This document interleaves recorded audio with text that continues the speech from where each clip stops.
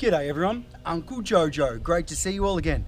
I get asked heaps of questions about being so very good looking and about different types of foundations we do. I'm not going to answer the questions on being so very good looking today. As far as foundations go, we need to make sure that we look at the different types of soil and the area that we're in to get the right types of foundation. A number of questions about foundations are in regards to how deep we need to go, how deep is deep enough, what type of site drainage do I need, can we do piers or can we do strip footings or can we do a waffle slab? Waffle slab being just sits on the ground and doesn't get cut in, no strip footing. Today we're doing some strip footings and I'm going to show you just in this tiny area the different types of soil and the reaction of that soil in only a two day period and as we're digging still today. So we're clearing out the beams, the concrete beam areas. Some of the soil is super shaly, so it breaks up really quickly and easily. Other is really clayey and holds together really well. And some of it's really good topsoil, which would make great soil for gardens, garden beds, all that kind of jazz. All that jazz. So check, checkity, check this out. Here you can see all I've done is stick stuck the shovel in here and this is breaking away like it's nothing. Now, this soil here, see that? That just is peeling up. So this soil isn't going to be very stable for foundation work. We know need to go a little bit deeper or we need to do massive strip footings like we've done here and then that all gets tied in together. So if anything moves the whole thing moves as one. Things don't move by themselves. One way we could also go around this is to do piers but they'd have to be probably 450 to 600 round diameter and I'd say 16 to 1800 deep. But now this is just a trench here, just over here, which is only two steps away. We've got perfect clay here, which is absolutely spot on.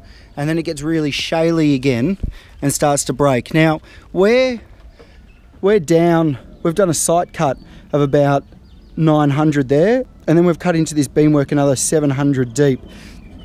So you're looking at that we're about 1700 down and the clay down at 1700 is very different from one end to the other.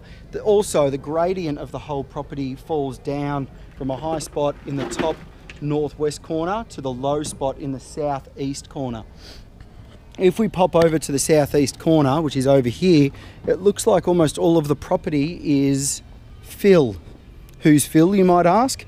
Fill is dirty fill. Nobody really likes fill, it's not stable.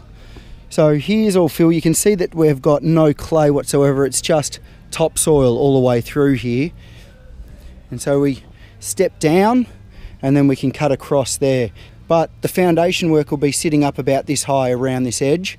So it'll all tie in nicely. And then there's, a 150 slab over the entire footing section over here.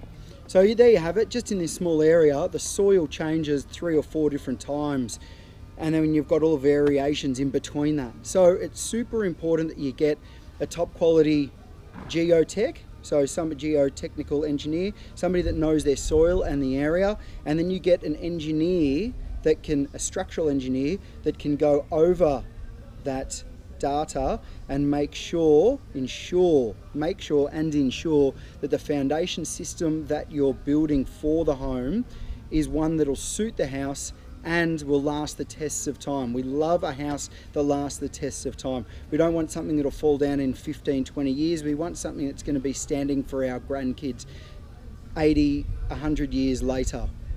If you've got any questions about soil, soil types and areas, flick it over. I'll answer them for you best I can where I can. I don't know everything about soils. I'm not a specialist in soil. I just know the areas that I can build certain types of foundation works and certain areas where I can't. Thanks for watching, and like always, stay unreal banana peel, and I'll see you in the soup.